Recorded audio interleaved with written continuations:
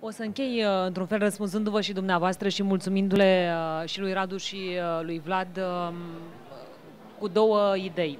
Odată că vin dintr-o cabină de montaj, unde mă chinui să croșetez o Românie care se numește pentru televizor România deșteaptă.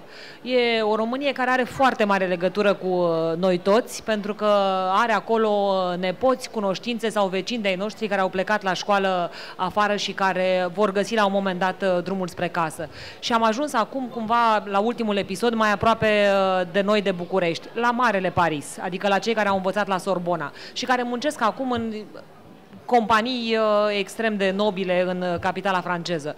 Unul dintre ei îmi spunea că la o, mască, la o masă cu alții uh, colegi de la UNESCO, unde el lucra, la un moment dat amfitrionul n-a mai rezistat, era probabil la felul 2, erau probabil mai bine dispuși, s-a ridicat și a spus, ești primul român pe care îl văd și care n-are acordeon.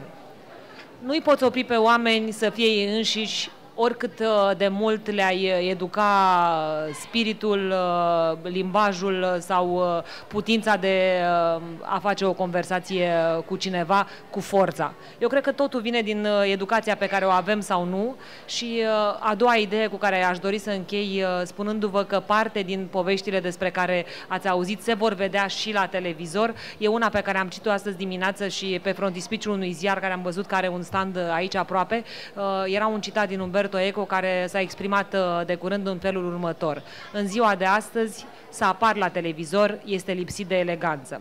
Aș spune că proiectul ăsta ne face să fim puțin mai relaxați, în televizor în cap și astfel uh, de povești și până la urmă cred că paradigma asta în care trăim, prejudecata asta um, nu întotdeauna verificată, cum că suntem mai inculți decât eram, mă refer la noi vis-a-vis -vis de generația părinților uh, noștri, e din vina televizorului. Să-l lăsăm pe el vinovatul principal și să evadăm uh, în spațiul ăsta um, în care avem uh, ce răsfoi. Vă mulțumesc tuturor, ne reîntâlnim când cartea o să fie gata. Mulțumim foarte mult!